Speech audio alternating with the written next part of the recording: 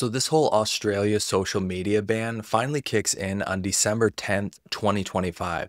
And honestly, it's way stricter than people think. Basically, if you're under 16, you straight up can't create or keep accounts on platforms like Instagram, TikTok, Snapchat, pretty much everything most people use every day. And even if you're older, there's a chance that the system misidentifies you and flags your account anyway. That's actually written into the guidelines. Platforms have to start using things like facial estimation, video selfies, or IDs to verify ages, so mistakes are going to happen.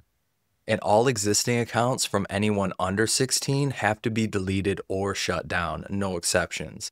Not even with parental consent. It's honestly one of the biggest social media crackdowns anywhere, and the privacy part is the real concern because the more verification methods these companies are forced to use, the more personal data gets collected, stored, and potentially exposed. So this is where a VPN comes into this conversation. A good VPN basically protects your online identity by hiding your IP address, preventing DNS leaks, and letting you bypass region-based restrictions. And if you're in Australia and you want to avoid the whole age verification mess, or you're just trying to keep your privacy intact, a VPN gives you a way around it without doing anything complicated. All right, so let me actually show you XVPN because that's what I've been testing on my PC, and honestly, it's one of the simpler VPNs I've used. They have over 100 million downloads, and they also support the trusted protocols like OpenVPN and WireGuard, along with their own Everest protocol that's designed specifically to bypass censorship. So to bypass the social media restrictions, it's literally two steps. So step one is open XVPN and connect to any server outside of Australia. Singapore works the best. Step two, once the VPN is connected, open whichever platform you want, and in most cases, the age verification pop-up will disappear. And if you need to make a new account, use a fresh email so it doesn't get flagged. And one thing you absolutely want turned on is the kill switch. That way, if your connection drops for even a second, your real IP doesn't leak out. So XVPN actually has a real free plan. It's not one of those 500 megabyte limits. It's unlimited data and you don't even have to log in or create an account to use it. You can just download it and it'll connect immediately. You get access to servers in 15 plus countries 26 free locations, and the kill switch still works too, which is pretty rare for a free plan.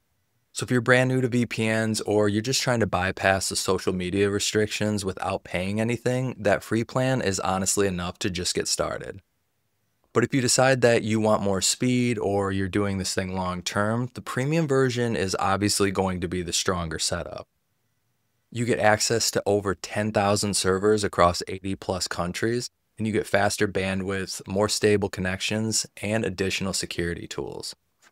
And if you're on a PC, this is where it gets really interesting because the premium plan includes an ad blocker, browser protection, and a dark web monitor, also storage cleanup, and even startup management tools inside the app.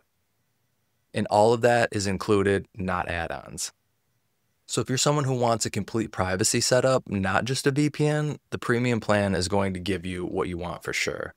Now, as far as privacy goes, XVPN does have a no log policy. They don't track your browsing history. They don't track your IP location or your personal information. And their servers are moving toward full RAM only setups, which basically means nothing is stored long term. They also publish transparency reports with government data requested numbers.